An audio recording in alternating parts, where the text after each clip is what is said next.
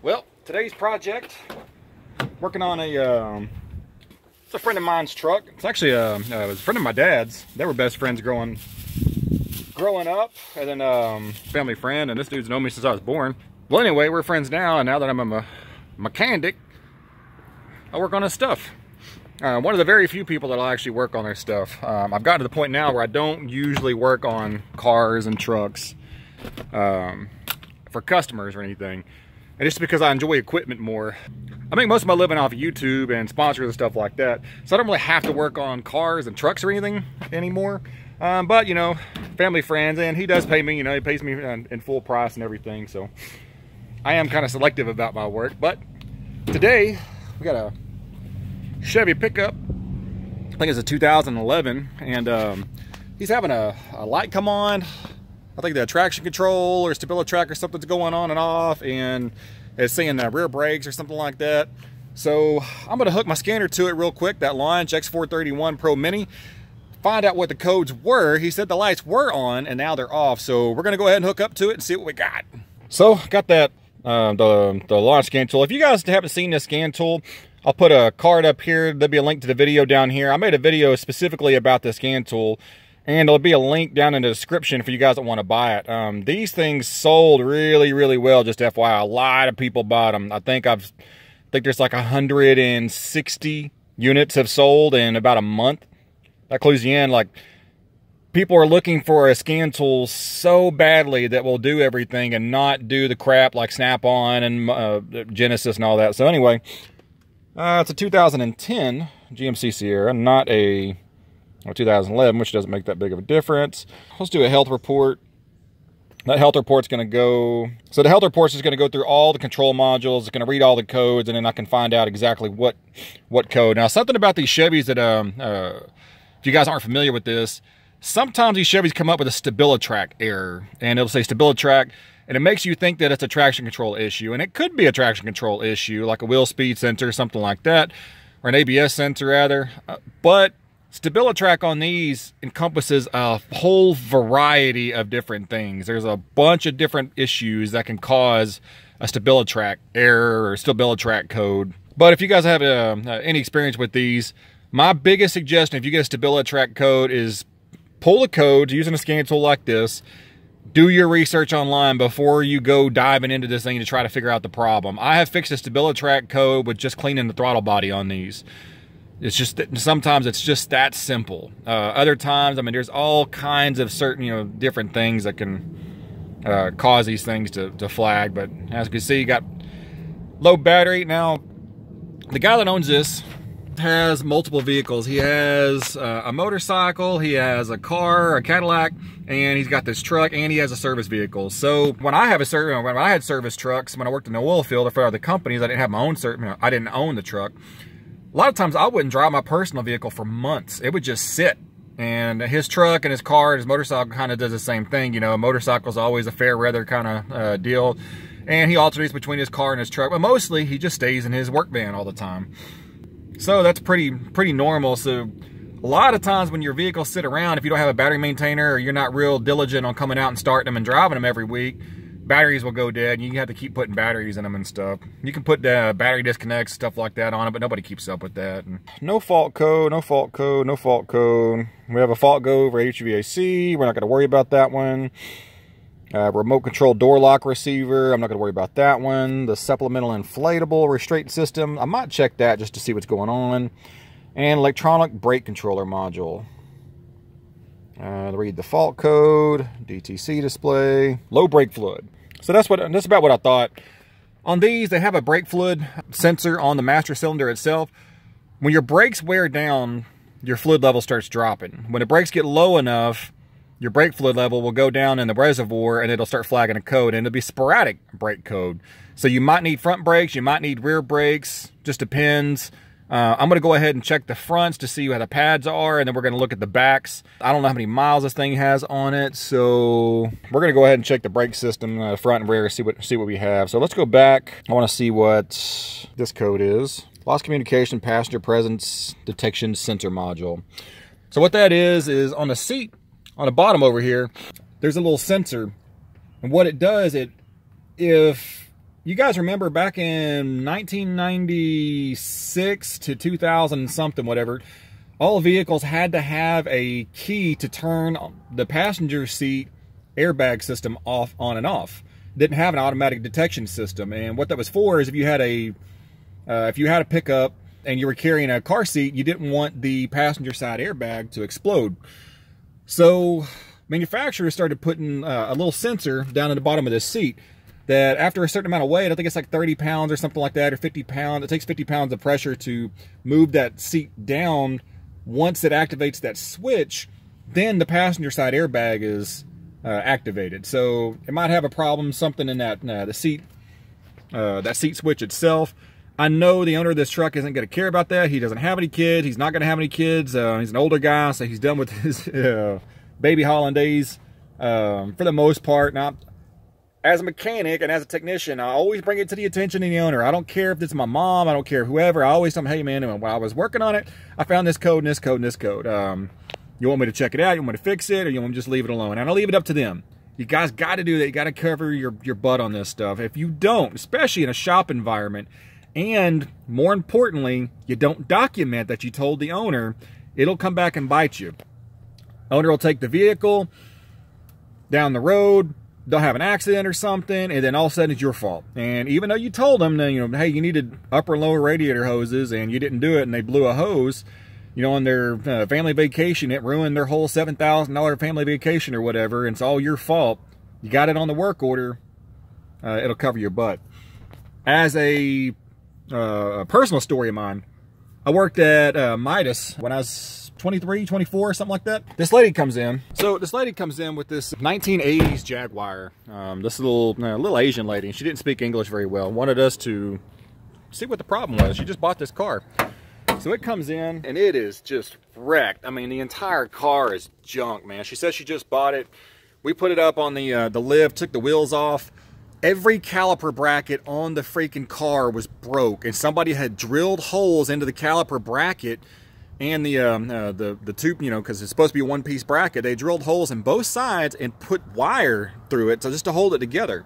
And the whole car was like this. And we put it up on the lift, and I looked at it. and I was like, I'm not working on this car, man. This is a disaster waiting to happen. So I went and showed my manager, pulled the lady out there. I was like, look, this car is unsafe. You don't, you know, our suggestion is don't drive it. Contrary to popular belief, I've had this, you know, people tell me that if you're a mechanic shop, you can take somebody's vehicle if it's unsafe and blah, blah, blah. No, you can't hold somebody's vehicle unless they owe you money on it. You have to give it back to them. Um, you can call the DOT or, you know, the police department, whatever, and tell them, hey, this car is unsafe, and the police department can handle it after that. Uh, but most of the time, they're not going to do anything about it. So, this is such a bad deal that I, I, told the owner, I was like, look, something's fishy about this. Something's not right. This lady doesn't barely speak English. She doesn't know what we're supposed to look at on a car. She just wants us to look at it, and she can't really convey it very well. I was like, something's, I mean, we, we need to take pictures of this thing. We need to document it. So we did. We took pictures of everything. We documented it. So we took pictures of everything. We documented.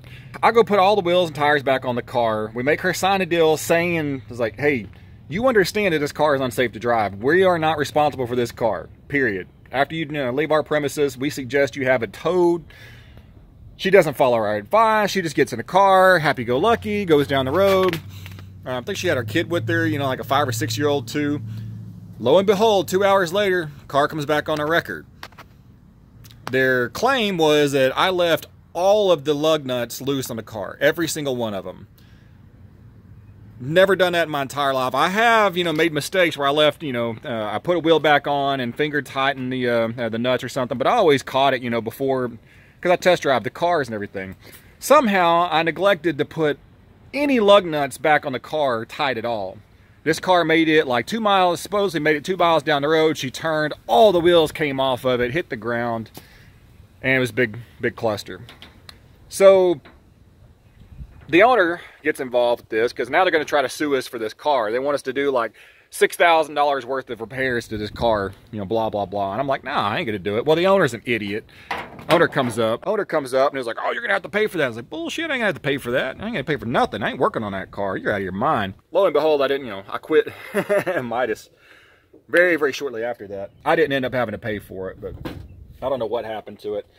So uh, that's my story. Now I'm going to I'm gonna go ahead and jack this truck up, Uh, I'm going to go to the front, and uh, his concern was the, the rears on this. I don't remember if I did the front brakes on this or not, but whenever the brake fluid low is low like that, gen generally it's gonna be your you know your front brakes wearing out first and your back brakes. So i'm gonna go ahead and look at the whole brake system. We're gonna find out we're gonna and to look at the brake system on these you got to pull the wheels and uh, tires off and the drums off. So i'm gonna take those off i'm gonna uh, think of leave the front on and use a little mirror look in there and see if we need pads and then kind of check the whole brake system over to see if we got any leaks a little tip for you guys doing these brakes and especially on the drums a lot of times you have to get in there and go through the adjuster in the back to loosen the shoes up enough to get the drum to clear.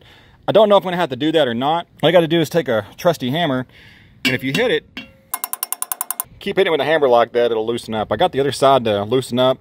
I'm gonna keep smacking this one loosen it up, get that brake drum off. So we got them off, and problem. Wheel cylinder's leaking. That's pretty common for um, uh, the mileage on these. Now, there's two different trains of thought. Um, well, let me show you the other side too. So that's your brake shoes. Yes, it's a 2010 with drum brakes on the back. I don't know what Chevy was thinking. Drum brakes are just awful. And this side's even worse. He has plenty of pad left on the shoes. I will not put brake shoes back on once they've been suggested or su subjected to any kind of fluid. Uh, brake fluid or if the wheel seal's bad in here, that axle seal, you know, leaking. If these get wet, I don't, you know, I don't care if it's an 18 wheeler or what. I'm not, you know, heavy equipment or not. I don't care. I'm putting new shoes on. Now, some mechanics will take a torch and they'll bake these and, you know, to, you know, bake the oil out of it, and then they're like, oh wow, you've been doing this for 80 years. No, don't do that crap. Um, brakes are cheap, cheap insurance, all this stuff. I mean, you can get these wheel cylinders are like, you know, 10 bucks a piece or something like that, eight bucks a piece. Some new shoes are like 20 bucks or something. Uh, you can get the spring kits too, you know, new spring. I mean, every, all the parts you need on the side to replace all of this is maybe like 30 bucks a side. You know, so you're, you're, it's just ridiculous that people uh, end up doing stuff like that. So before I take this apart, I need to make sure I can get some brake shoes on hand and get some wheel cylinders on hand. And uh, go pick up the parts. Uh, I still need to look at the front. I think the front's going to be fine. This is probably where, you know, all the problems are going to come from. Um, I am going to need to pick up some more brake clean because I'm out of brake clean. And uh, we'll go to the old O'Reilly's and see if they got all the parts.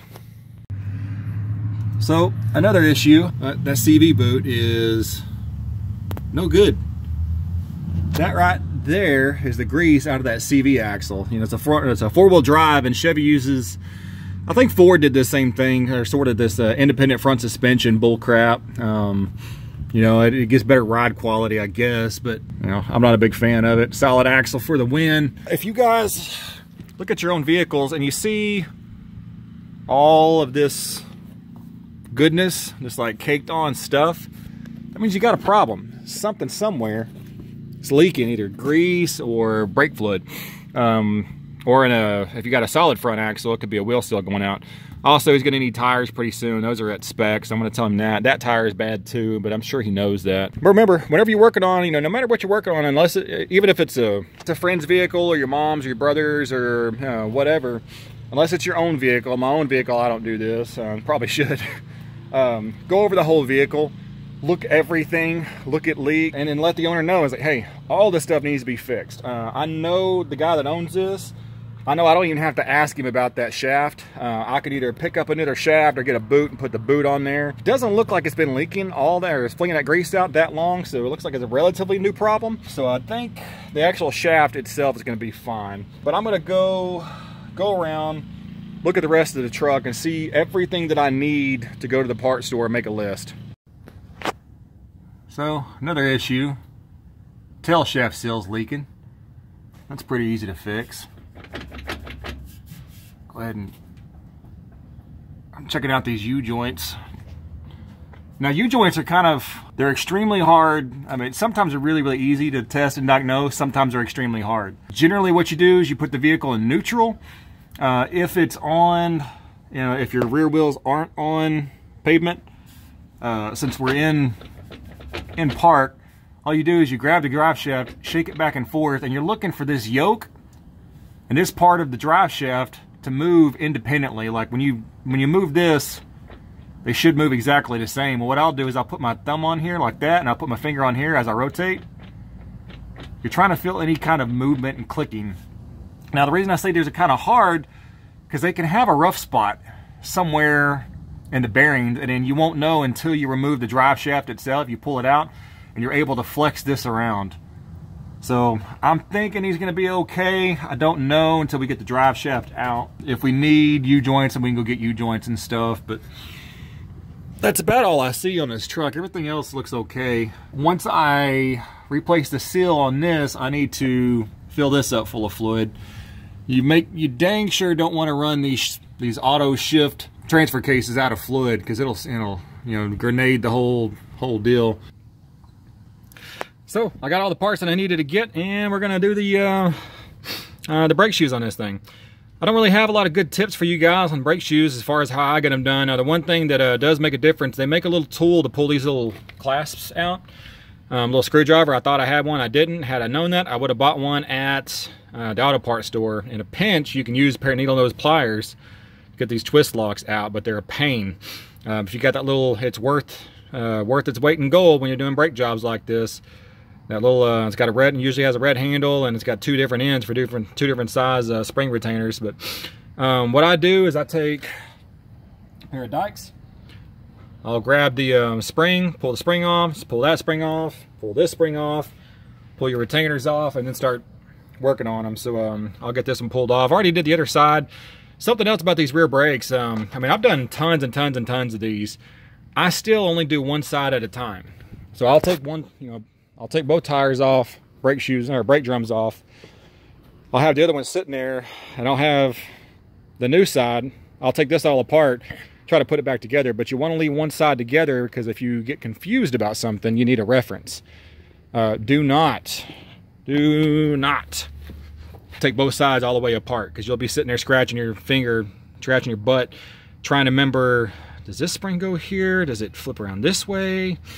If you have a reference side, you're you're pretty good. You can figure it out. You know, most time, most guys can figure it out. But go ahead and get this torn apart.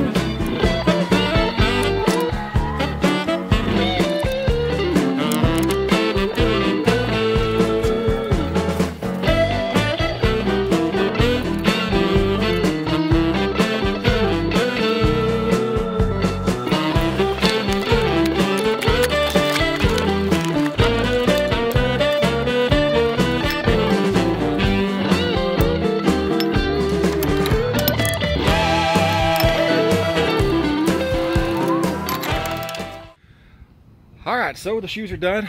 Put new, um, something else about doing shoes. I don't know if I mentioned this in the first part of the video or not.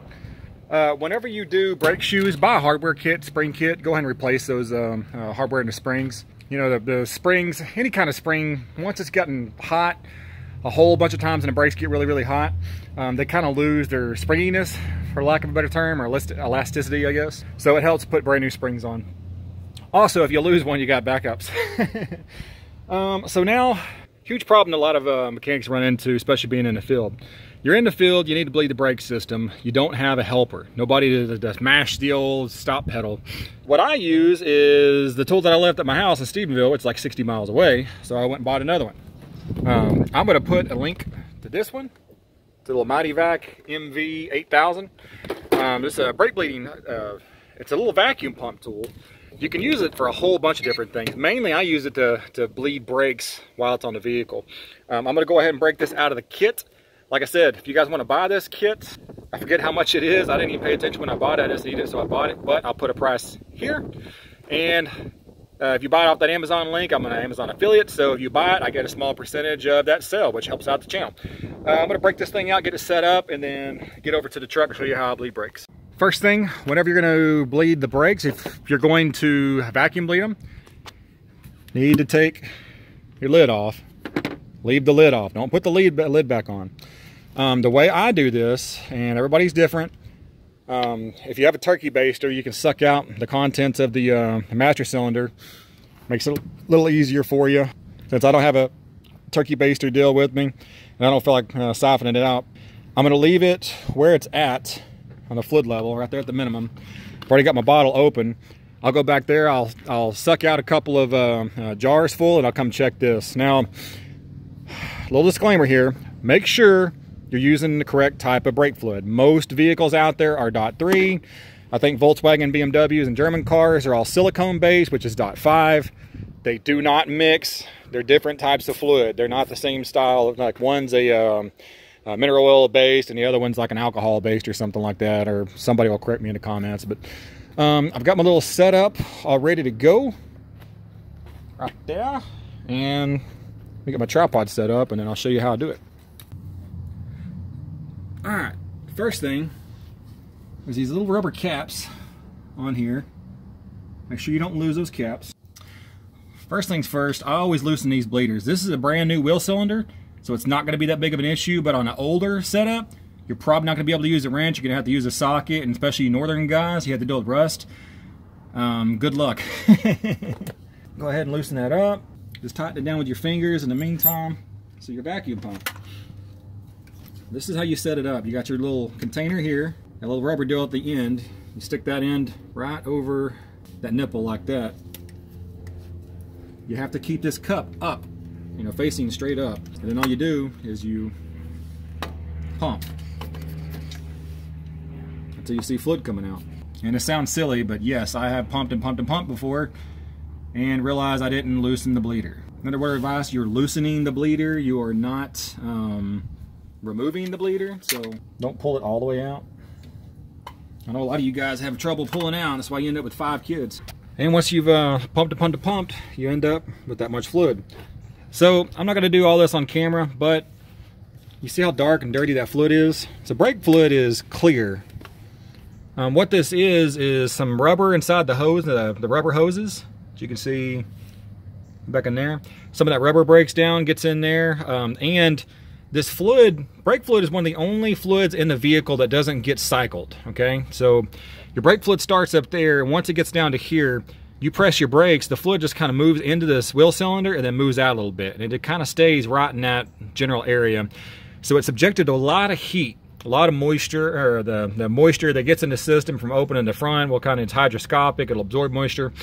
You have a wheel cylinder that's leaking like that, it can wick moisture inside of it and everything, but mainly this gets so hot it kind of burns like that. So it's good, you know, about every 50,000 miles to go ahead and flush all of your brake fluid out. So you, you know, this is a pretty valuable tool for all you guys. If you've never flushed your own brake fluid, um, this is the way to do it. This is the way I like to do it. Now there's several other different setups out there. There's some that pressurize the master cylinder itself and those work great. Um, they've got some bleeder screws where you just screw one into the bleeder and then when you hit the brake, it ejects air. And as soon as fluid comes out, it closes the check valve and those work okay. This is my preferred method because I can actually see when new fluid gets in here. Um, so what I'll do is I'll dump that fluid out and I'll check my master cylinder. And so my master cylinder's about that far down. So it's gonna take me a little while, but you know, it's a, um, if you're doing the brakes, you want to do it once and do it right, and don't screw around with brake jobs because this is safety stuff. You know, uh, I always look at every job that I touch on brakes. Do it, I do it 100%. You're going to replace everything that I say to replace, or I suggest to replace, with the brand that I like to use and brands I like to use. And if not, I'm not going to do it because I'm not just worried about you on the road driving your own vehicle. I'm worried about the other vehicle that you might crash into. Um, so I'm going to go ahead and finish this up and then we'll start doing that tail shaft still. So that's it for the video. I didn't originally shoot this video with the intention of making a multi-part video series or anything, but I'm editing this video and it's already at 24 minutes, so that's about the maximum length I can get away with uh, uploading a YouTube video. But I hope you guys enjoyed the video. I hope you learned something. I hope it helps you guys out a little bit. Hit that like button, hit the subscribe button, and I will upload the other two parts of this video next couple of days. I appreciate it, and get out and fix something.